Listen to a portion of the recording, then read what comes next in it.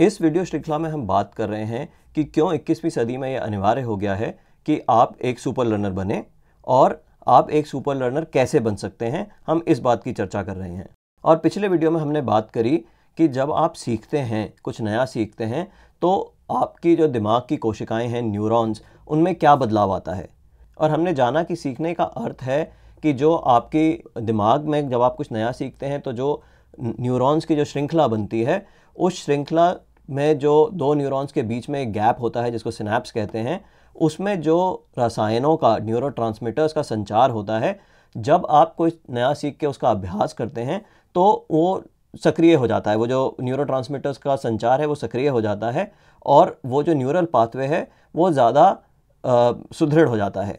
तो इसी को सीखना कहते हैं, यानी learning is the strengthening of the neural synapsis इस वीडियो में चर्चा करते हैं कि जो आपने नया सीखा, आप उसको गहराई से कैसे समझ सकते हैं? यानी प्राप्त ज्ञान को गहराई से समझने की क्षमता को आप कैसे विकसित कर सकते हैं? तो गहराई से समझ डीप कॉम्प्रिहेंशन का विपरीत है एक उथली समझ, एक सरफेस लर्निंग या शैलो लर्निंग तो शैलो लर्निंग का क्या मतलब है? शैलो लर्निंग का मतलब है कि आपने कुछ सीखा, पर जो भी आप नया सीख रहे हैं, आप उसको, जो आपका पूर्व ज्ञान है, उससे उसका कनेक्शन नहीं बैठा पाते हैं। अगर उसका कोई पुरानी जो आप जानते हैं उससे कोई कनेक्शन नहीं बनता है तो जो आपकी समझ है, वो उथली रह जाती है। या आपने, और जब आप किसी चीज़ को गहरी, गहराई से नहीं समझते हैं तो वो फिर आपके साथ वो बात जो है, वो ज़्यादा देर तक आप उसको याद नहीं रख सकते हैं। जैसे कि आपने एग्ज़ाम से कुछ पहले बहुत रट रट्टे लगाकर कुछ सीख लिया तो एग्ज़ाम के दो हफ़्ते, महीने भर बाद आप वो सब भूल जाएँगे क्योंकि आपकी जो समझ थी वो गहरी नहीं थी। और मान लीजिए आप कुछ कुछ सीखते हैं, पर आप उसका उपयोग उसी संदर्भ में कर रहे होते हैं तो ये भी दर्शाता नहीं है कि आपकी समझ जो है वो गहरी है। जैसे कि मान लीजिए आपने गणित में कोई फार्मूला सीखा और आप उस फार्मूला का आ, की एप्लीकेशन उसी से मिलते जुलते सवालों में लगा रहे हैं तो ये भी जो है ये दर्शाता नहीं कि आपकी जो समझ है वो वाकई में गहरी थी कि नहीं। और औपचारिक शिक्षा जो है उसमें जित जितने इम्तहान होते हैं ज़्यादातर वो टेस्ट ऑफ़ रिकॉल कर रहे होते हैं। यानी कि वो ये देख रहे होते हैं कि जो आपने सीखा वो आपको याद रहता है कि नहीं रहता है। वो आपकी गहरी समझ की कम ही जो है वो टेस्टिंग कर रहे होते हैं। और इसीलिए शायद इसीलिए कारण है कि जो लोग इम्तहान में अच्छे नंबर भी ले आते हैं, वो आगे जाकर सफल नहीं होते जीवन में। क्योंकि पहली बात तो ये कि प्रेस्क्राइब्ड सिलेबस में जो आपको आज सिखाया जा रहा है, उसका 21वीं सदी से कितना तालमेल है, ये नहीं कह सकते। और दूसरा ये कि अगर किसी चीज़ का तालमेल है भी तो क्या आपको उस उस चीज़ की क्या आपकी समझ गहरी है या बहुत उथली है? अगर गहरी नहीं है, आप कनेक्शंस नहीं बना सकते, जो आपने सीखा उसको और चीज़ों से नहीं जोड़ सकते हैं तो फिर आप जो है वो जटिल समस्याओं के समाधान नहीं ढूंढ सकते हैं। आप उस ज्ञान का प्रैक्टिकली रियल वर्ल्ड में एप्लीकेशन करना बहुत मुश्किल है और इसीलिए उथली समझ जो है वो फिर सफलता के लिए जो है वो एक बाधक ही बन जाती है। तो गहरी समझ का प्रमाण क्या है? गहरी समझ का प्रमाण जो है वो है कि जो आपने सीखा क्या आप, पहली बात, क्या आप उसको अपने पूर्व ज्ञान से जोड़ सकते हैं कि नहीं? क्या उसका पूर्व ज्ञान से तालमेल बैठा सकते हैं कि नहीं? क्या आप अपनी न्यू नॉलेज को, अपनी प्रायर नॉलेज से उसके कनेक्शंस बना सकते हैं कि नहीं? और दूसरी बात कि जो आपने सीखा क्या आप उसका उपयोग नए संदर्भ में कर सकते हैं कि नहीं? यहाँ नया संदर्भ जो है, ये बहुत ज़रूरी है, क्योंकि जैसे मैंने कहा कि अगर आपने कोई फार्मूला सीखा और उसको मिलते जुलते सवालों में आपको लगाना आता है तो वो जो है, वो प्रमाण नहीं है कि आपको गहराई से समझ में आया। पर आप अपने ज्ञान को अगर नए संदर्भ में उसका उपयोग कर सकते हैं, खासकर रियल वर्ल्ड कॉन्टेक्स्ट में उसका इस्तेमाल कर सकते हैं तो वो दर्शाएगा कि आपकी समझ जो है, उस टॉपिक पर गहरी थी। और क्या आप उस चीज़ जो आपने सीखा, उसको आप लंबे अरसे तक याद रख सकते हैं कि नहीं, ये भी दर्शाता है कि आपकी समझ कितनी गहरी थी। क्योंकि अगर आप किसी चीज़ को गहराई से समझते हैं तो चाहे आप उसका जो उपयोग है वो बहुत लंबे अरसे तक ना भी करें, तब जब भी आप उसको वापस देखेंगे तो आपको दोबारा उसको सीखना जो है वो ज़रूर आसान रहेगा। तो अगर गहरी समझ के लिए ज़रूरी है कि हम जो भी नया हम सीख रहे हैं, उसको अपने पूर्व ज्ञान से उसका कनेक्शन बनाएँ तो फिर हम ये कैसे लर, हमारी सीखने की क्या प्रक्रिया रहे कि हम ये जो चीज़ है ये हासिल कर पाएँ? तो इसके लिए एक चीज़ जो आप कर सकते हैं वो ये कि मान लीजिए स्कूल कॉलेज के संदर्भ में कि आप जो पढ़ रहे हैं अगर आप क्योंकि स्कूल कॉलेज में है जो सिलेबस होता है वो प्रिस्क्राइब्ड होता है आपको पता होता है कि अगले दिन क्लास में आप क्या पढ़ने वाले हैं तो इस संदर्भ में आप एक रात पहले या एक दिन पहले जो है जो नया पढ़ना चाहते हैं अगर आप अपनी टेक्स्ट बुक को लेकर केवल उसकी, उसको एक झलक देख भी लेते हैं, पन्ने पलट कर उसकी मोटी हेडलाइंस देख लेते हैं तो उससे भी क्या होता है कि जो लॉन्ग टर्म मेमोरी में जो भी उससे संबंधित आपकी जो भी जानकारी थी, वो जो है वो सक्रिय हो जाती है। तो इसको एक्टिवेशन ऑफ़ प्रायर नॉलेज कहते हैं, क्योंकि कनेक्शन बैठाना है ना, हमें, जो हमें पूर्व ज्ञान था, उससे नए ज्ञान और पूर्व ज्ञान का हमें कनेक्शन बैठाना है तो पहली बात तो यही है ना कि जो जो पूर्व ज्ञान था, हम उसको वापस एक्टिवेट कर पाएँ। ऐसा करने से आपकी जो जो मस्तिष्क की ग्रहणशीलता है ना, वो बढ़ जाती है। क्योंकि जैसा हमने पहले देखा था, हमने एसोसिएटिव लर्निंग की बात करी थी न्यूरल बेसिस ऑफ़ लर्निंग में तो जब आप ये अपने पूर्व ज्ञान को सक्रिय कर रहे हैं तो आप अपने मस्तिष्क को ग्रहणशील बना रहे हैं कि जब आप नया सीखेंगे, आपका दिमाग तैयार है नया सीखने के लिए। दूसरी चीज़ आप क्या कर सकते हैं अपनी ग्रहणशीलता बढ़ाने के लिए कि जो भी टॉपिक ऑफ़ स्टडी है, उसमें आप अपनी जिज्ञासा को जागृत कीजिए।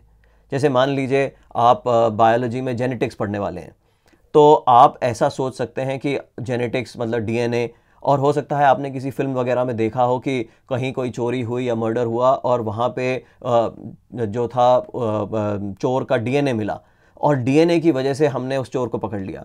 तो हो सकता है आप ऐसा ही कुछ सोचकर भी अपनी जिज्ञासा जागृत कर सकते हैं कि अच्छा वो डीएनए मैपिंग क्या होती है, कैसे होती होगी जेनेटिक्स में इसका क्या संबंध है।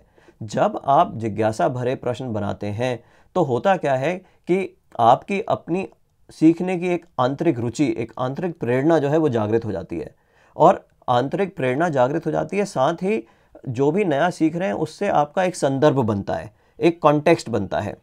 यहाँ कहने का मतलब क्या है कि वैसे आप जब कुछ स्कूल में, स्कूल कॉलेज में सीख रहे होते हैं तो अधिकतर आप ना केवल एग्ज़ाम और नंबरों के लिए सीख रहे होते हैं। उससे ज़्यादा उससे ज़्यादा आपकी प्रेरणा नहीं होती है कि क्यों मैं ये नया सीख रहा हूँ। पर अगर आप उसको, कोई अपना संदर्भ ऐसा जोड़ पाएँगे, अपनी जिज्ञासा जागृत कर पाएँगे तो एक आपकी आंतरिक प्रेरणा बढ़ेगी। एक वो संदर्भ, वो जो टॉपिक ऑफ़ स्टडी है, वो आपके लिए निजी तरीके से रेलेवेंट हो जाता है। और इन दो चीज़ों की वजह से क्या होता है क्योंकि सीखने की जो जो प्रक्रिया है लर्निंग जर्नी जो है, उसमें हमने पहले बात करी थी कि उतार चढ़ाव आते हैं। हाँ कन्फ्यूज़न होता है फ्रस्ट्रेशन होती है फेलियर होता है, ये होना लाजमी है। पर अगर आपकी जिज्ञासा जागृत हो जाती है, आपकी आंतरिक प्रेरणा जागृत हो जाती है, आप नए सीखने से एक संदर्भ बना लेते हैं कि मुझे निजी तरीके से क्यों ये सीखना है? मेरी क्या पर्सनल इसमें क्या रुचि है, क्या जिज्ञासा है? तो आप कॉग्निटिवली कमिटेड हो जाते हैं। आप मानसिक रूप से अपने ऊपर एक जैसे प्रतिबद्ध हो जाते हैं मानसिक रूप से कि ये लर्निंग जर्नी चाहे कितनी भी मुश्किल क्यों ना हो, मैं इसमें डटा रहूँगा। तो गहरी समझ की जो ये जो एक जर्नी है, ये जो गहरी समझ की जो ये यात्रा है, उसके मुख्य पड़ाव क्या हैं? सबसे पहले तो आपका कुछ आप सीखने वाले हैं तो सबसे पहले तो बात यह है कि आज के दिन वो नया सीखने से पूर्व आपका एक मेंटल मॉडल है। मेंटल मॉडल मतलब आपके मस्तिष्क में इस वक्त आपके न्यूरॉन्स की बहुत सारी श्रृंखलाएँ बनी हुई हैं। तो ये एग्जिस्टिंग मेंटल मॉडल है। और पूरी लर्निंग जर्नी का मतलब ही यह है कि हम इस मेंटल मॉडल में नए कनेक्शंस जोड़ के इस मेंटल मॉडल को अपडेट करना चाहते हैं। तो इसमें सबसे पहली बात, क्योंकि हमने कहा कि सारी, सारा खेल कनेक्शंस का है तो सबसे पहली बात है अपने पूर्व ज्ञान को जो है वापस सक्रिय करना। एक्टिवेट प्रायर नॉलेज और इसके लिए हमने कहा कि आप किताब जो है उसके पन्ने पलट सकते हैं, कोई यूट्यूब वीडियो देख सकते हैं या अन्य कोई ऐसी चीज़ कर सकते हैं ताकि जो आप जानते हैं वो पूर्व ज्ञान वापस आपकी लॉन्ग टर्म मेमोरी से वापस सक्रिय हो जाए। दूसरी बात आपने करी कि आप अपनी जिज्ञासा को जागृत कर सकते हैं, अपने निजी संदर्भ से सवाल बना के कि नए टॉपिक ऑफ़ स्टडी में आपकी खुद की क्या रुचि है, इसके बारे में आप जो है वो आ, आ, सवाल बनाएँगे संदर्भ जोड़ेंगे तो आपका जो आपके दिमाग की नया सीखने की ग्रहणशीलता है वो आ, जो है वो बढ़ जाएगी। फिर जब आप नया सीखना शुरू करते हैं चाहे वो औपचारिक रूप में क्लासरूम के अंदर हो चाहे वो अनौपचारिक रूप में आप यूट्यूब वीडियो या कोई अन्य किताब वगैरह पढ़ के सीख रहे थे तो फिर ज़रूरी दूसरी बात क्या हो जाती है कि आप सीखते वक्त एक्टिवली सक्रिय रूप से इंगेज रहें। सक्रिय रूप से एंगेज रहने का मतलब है कि जो भी आप सुन रहे हैं, उस, उससे आप निरंतर अपने से सवाल जवाब करते रहें कि मुझे समझ में आ रहा है कि नहीं, मैं इससे अग्री करता हूँ कि नहीं, या मैं जो मेरा पूर्व ज्ञान था, उससे इसका क्या कनेक्शन बन सकता है, इस तरीके से। और साथ ही पूरी चेष्टा ये करनी चाहिए कि अगर आप, आपकी टीचर सवाल पूछ रहे, पूछ रही हैं तो आप उन, उसका जवाब दीजिए। और अगर आप उसका गलत जवाब भी देते हैं तो फ़र्क नहीं पड़ता है, क्योंकि हम, जैसा हम समझ रहे हैं कि सीखने की एक प्रक्रिया है, अगर आप गलत जवाब भी देते हैं तो होता क्या है कि वापस आपकी जो अटेंशन है, आपका जो ध्यान है, वो वापस आ जाता है। वरना अधिकतर क्या होगा कि आप आप फिज़िकली तो क्लासरूम में हैं, पर मेंटली आप कहीं और हैं।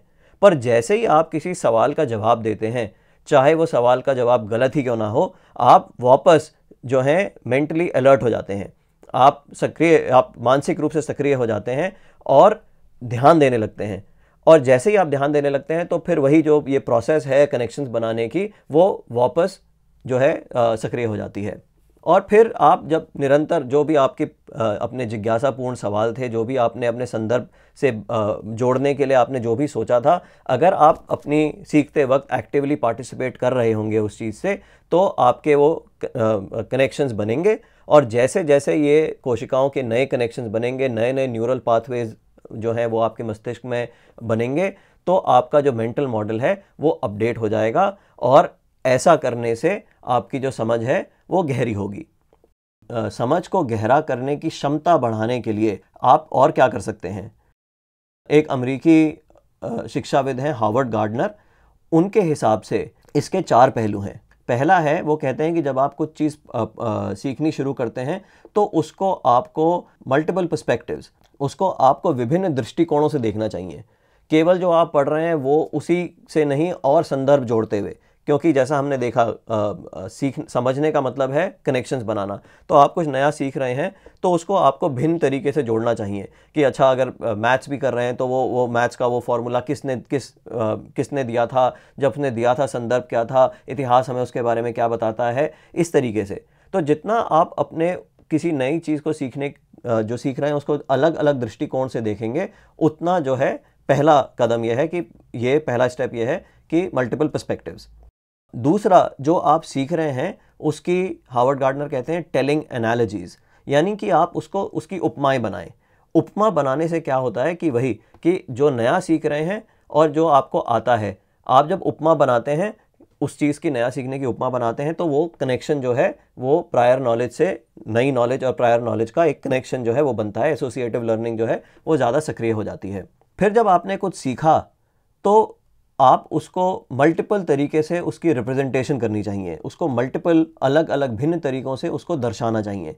जैसे आप नोट्स बना सकते हैं, हम नोट टेकिंग के बारे में आगे एक वीडियो में बात करेंगे। आप उसका माइंड मैप बना सकते हैं। माइंड मैप होता है, हम माइंड मैप्स को भी आगे वीडियोस में उसके बारे में बात करेंगे। पर विजुअल रिप्रेजेंटेशन जो आप सीख रहे हैं, उसकी इसलिए ज़रूरी है क्योंकि जो आपकी, आपका मस्तिष्क है, वो विजुअल इन्फॉर्मेशन को ज़्यादा बेहतर इनकोड करता है। हमने एक और वीडियो में देखा था कि कैसे सीखने की दो प्रक्रियाएँ होती हैं, पहली इनपुट या इनकोडिंग और दूसरी रिट्रीवल आउटपुट या रिट्रीवल तो इनकोडिंग बेहतर तब होती है जब आप विजुअली किसी चीज़ को रिप्रेजेंट कर पाते हैं। और फाइनली हार्वर्ड गार्डनर कहते हैं कि गहरी समझ के लिए जो चौथा स्टेप है, वो है multiple performances of understanding multiple performances of understanding का क्या मतलब है कि एग्ज़ाम क्या है? एग्ज़ाम में हम ये देखना चाहते हैं कि जो आपने सीखा क्या आपको वो वाकई में आता है कि नहीं? पर जैसा मैंने कहा अधिकतर औपचारिक शिक्षा में जो एग्ज़ाम होते हैं वो टेस्ट ऑफ़ रिकॉल के होते हैं। याददाश्त के वो देख रहे होते हैं कि जो आपने आ, सीखा उसको आप आप याद रख सकते हैं कि नहीं। पर वो गहरी समझ नहीं आ, जो है वो दर्शाता। पर अगर आप इस किस्म के टेस्ट लेते हैं जहाँ पर आप तथ्य आधारित नहीं तर्क आधारित सवालों का फैक्ट बेस्ड नहीं इन्फ्रेंस बेस्ड क्वेश्चंस को आंसर करते हैं तो जब आप तर्क आधारित सवालों का जवाब देते हैं, तब आपको कनेक्शन जोड़ने पड़ते हैं, अपना तथ्य सिद्ध करने के लिए अलग अलग जो है वो दृष्टिकोण देने पड़ते हैं, उससे आपकी समझ गहरी होती है। दूसरा तरीका है अपनी समझ गहरा करने का, किसी और को पढ़ाना। क्योंकि जब आप किसी और को पढ़ाते हैं तो दूसरे आदमी को समझ में आए या ना आए, आपको पढ़ाते वक्त समझ में आता है कि मुझे इस चीज़ में कितना समझ में आया और क्या क्या मेरे नॉलेज गैप्स थे। और जब आपको समझ में आता है कि किस चीज़ में आपकी अभी जो ज्ञान है वो उतला है तो आप फिर वापस जाके उसका अभ्यास कर सकते हैं। तो इस प्रक्रिया से जो है वो आपकी अपनी समझ जो है वो गहरी हो जाती है। और तीसरा, मैं स्टूडेंट को समझाता हूँ कि आना चाहिए how to make learning fun for yourself अपने लिए जो है सीखने की प्रक्रिया अपने खुद के लिए कैसे मज़ेदार बनाए, बनाई जा सकती है, ये आना चाहिए। और आप आज के दिन जो है क्योंकि हम बात कर रहे हैं कि हम केवल ये परफॉर्मेंस ऑफ़ अंडरस्टैंडिंग की बात कर रहे हैं कि आपको समझ में आई कि नहीं आई, आपको ये दर्शाना है। तो ज़रूरी नहीं है कि आप एग्ज़ाम दें। आप किसी चीज़ का, जैसे मैं अभी ये वीडियो बना रहा हूँ लर्निंग प्रक्रिया के ऊपर सुपर लर्नर के ऊपर तो ये बनाते बनाते ही मैंने खुद बहुत कुछ नया सीखा। तो आप वीडियो बना सकते हैं। या मान लीजिए आप फोटोसिंथेसिस सीख रहे हैं। आप फोटोसिंथेसिस की एनिमेशन बना सकते हैं। तो ये जो वीडियो बनाना, एनिमेशन बनाना पॉडकास्ट ये digital media rich digital media का उपयोग करना जो है, ये एक बहुत ही मज़ेदार प्रक्रिया हो सकती है। और इस किस्म की मज़ेदार चीज़ें बनाते बनाते आपकी समझ जो है वो गहरी हो जाएगी। तो अगले वीडियो में हम सुपर लर्नर का एक और मानसिक गुण देखेंगे, जो जो प्राप्त ज्ञान है, उसको याद रखने की क्षमता को विकसित करना।